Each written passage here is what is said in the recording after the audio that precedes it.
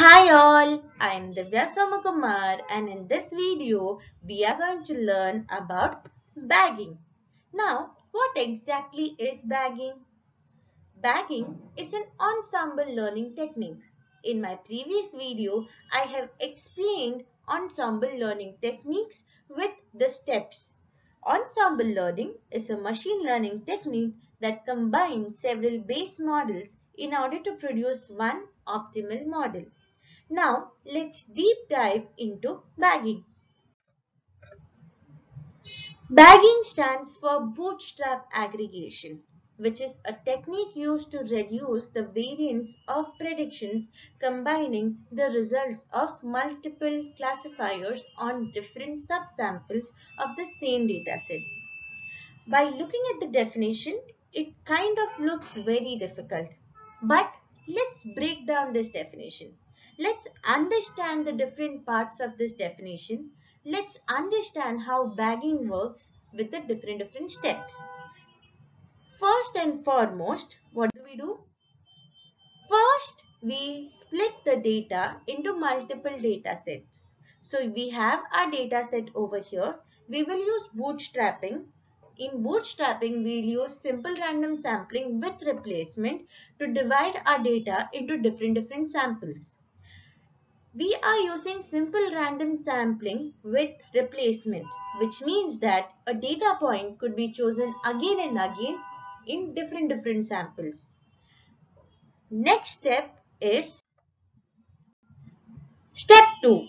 Build multiple machine learning model with each data set.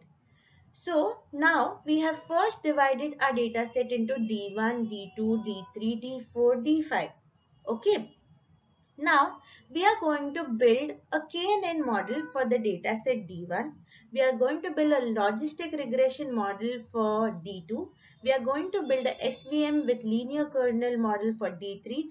We are going to build a decision tree model for D4 and we are going to build a SVM RBF kernel for D5.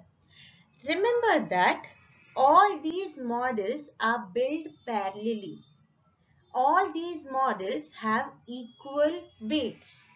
Now, let's look at the third step. Now, third step says that combine the output and get one particular output. So, now we have found the output from KNN, we have found the output from logistic regression, we have found the output from SVM linear kernel, we have found the output from decision tree, we have found the output from SVM RBF kernel.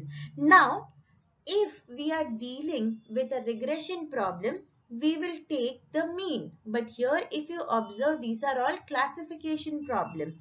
Hence we will take the mode over here. Basically, the value which occurs the most number of times will be chosen over here. This way, our bagging algorithm works. It combines the output of all the different models and then gives an output which could be a mean in case of regression problem and it could be a mode in case of classification problem. I hope everyone has understood the steps involved in bagging. Thank you.